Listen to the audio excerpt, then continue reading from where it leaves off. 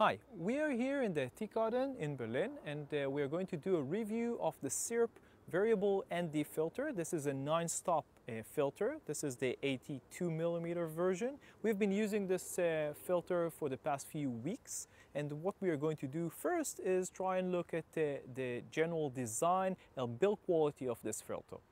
So let's look at the Syrp variable ND filters. On this side we have the 67mm version and on this side we have the 82mm version. We have already taken out of the box, the cardboard box that they came in, this uh, leather casing. It's a very nice uh, leather-like, probably not real leather case. It's good to protect against scratches or small accidental falls, but we will not throw away this uh, cardboard box. It's uh, good to protect uh, overall against uh, all sorts of uh, things that can happen to your uh, ND filter. Now, if we look inside, let's open this. This is a larger 82 millimeter. We have this cleaning fabric, which is always good, and the filter itself. So this is what you get inside this uh, casing, the leather-like casing. If we open the cardboard box, let's start with the 82 millimeter. We have two step-up rings, the 82 to 77 millimeter and the 82 to 72 millimeter step-up rings.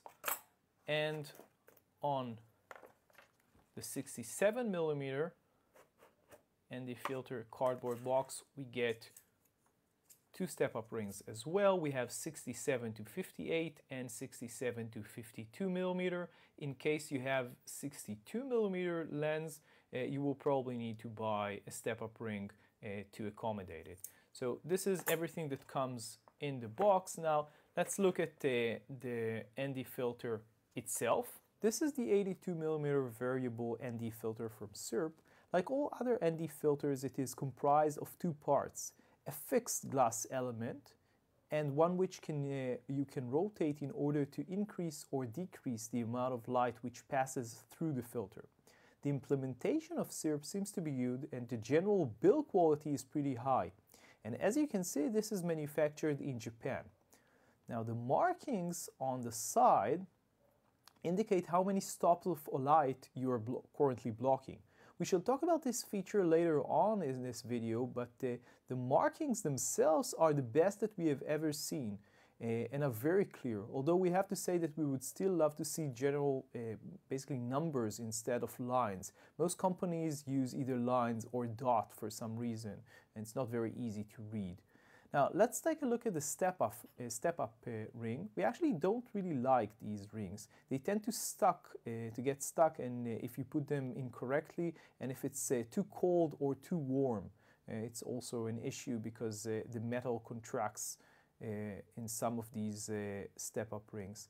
Now the Syrp one seems to be actually pretty decent and we didn't have any issues with them. Just make sure that you don't tighten the ring to the uh, filter itself too strongly, otherwise you might have a problem removing the filter from the step-up ring. At the end of the day, we would say that even if we don't uh, consider the relatively inexpensive nature of these filters, the general build quality is definitely good. But now let's take a look at how these filters actually perform. We shall start with the sharpness, and the idea here is very simple. We wanted to see if the filter reduces the sharpness of the lens in any way. What you can see now is a picture of a small box shot with our Nikon 50mm f1.8 manual focus lens. And now let's compare it to the same image shot with the same lens plus the Syrp ND filter. What you will be able to see in a second is what, what will happen when we will change the ND filter from one stop way up to 8.5 stops where you won't basically be able to see anything anymore. Now at any rate from what we can see and uh, we also took some stills which you can uh, check out in the full written review of the, the Syrp ND filter is that we didn't really notice any impact on the sharpness when using the filter which is obviously a good thing. We now move to our second test and here we are going to look at colors. On the one side we have our 50mm lens without the filter and on the other we have the exact same lens with the filter. There are some obvious differences because there is more light getting into the lens when the ND filter was not used. It might also be the position of the sun, however in terms of colors we didn't notice any impact. We also tried to change the level of the ND filter but as far as we can tell, when we can see anything, the colors were not affected. Our third test was trying to look at vignetting when using the ND filter. We started with one stop when you can see some darkening of the corners, but this isn't too bad. Then we moved up to about four stops and it's still pretty much acceptable. However, when we move to around six stops, you start noticing it much more. And of course, when going to higher NDs, it's quite noticeable. We also wanted to look at what is known as the X factor, at least this is the way we call it. This is a pattern which is common on variable ND filters. It appears when using the filter close to the limit of the filter's light cutting capability, in this case around 8.5 stops, but we will talk about this more in a second. You can see it now on the screen and as far as we know this isn't a specific issue with the Syrp filter, it's just how these variable ND filters work and you should be aware of this limitation and be careful not to reach it when you're shooting. Before we go to the conclusion, we wanted to note something strange that we discovered about the filter.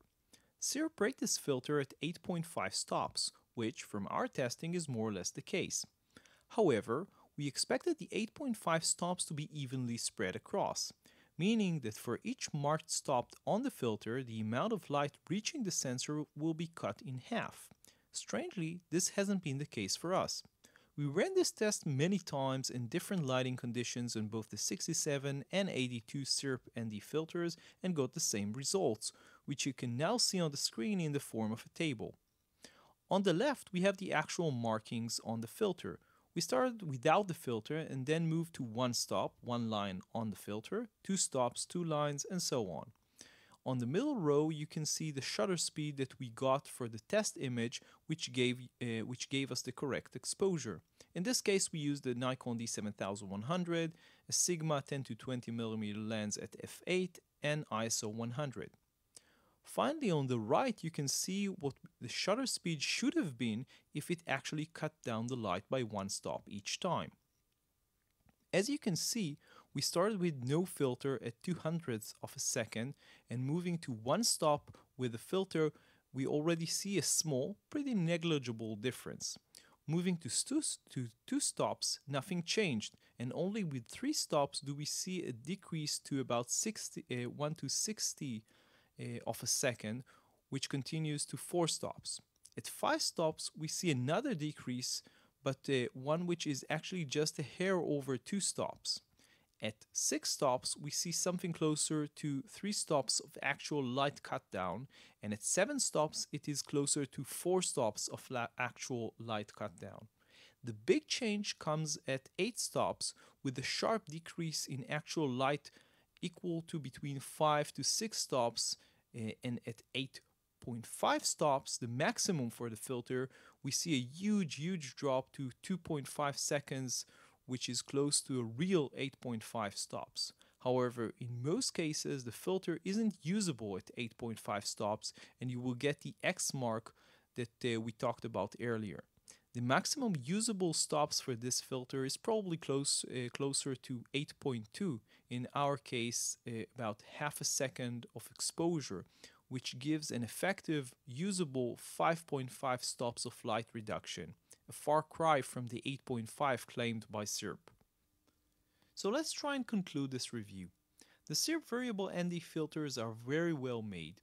They come in a great kit including a soft case, a hard cardboard box, and two step-up rings. At $140 for the 67mm and $190 for the 82mm, they are competitively priced against some of the best performing variable ND filters on the market, like the Singh-Ray and the B&W, which cost about twice as much or more.